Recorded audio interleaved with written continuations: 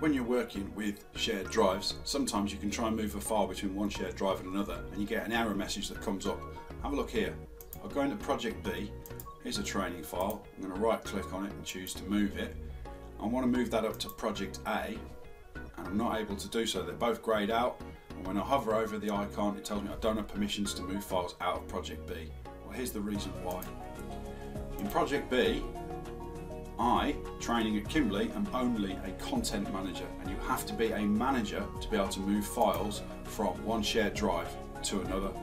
So let's change that up, change the permission and see what happens. Okay, now I've made myself a manager of this shared drive and I'll move the file. Move. This time Project A is available and I can move it into that location Project A. Training file moved. This will happen if you use Google Drive for desktop as well as using Google Drive in Chrome.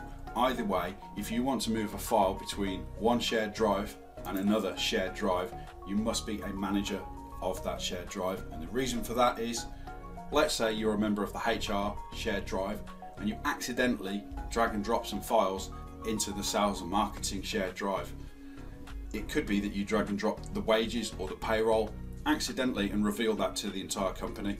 That's why only managers are allowed to make that change. It's to protect accidental data loss.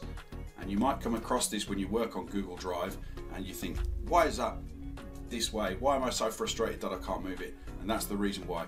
You need to make sure when you go into your shared drive that you are a manager to be able to move files between shared drives.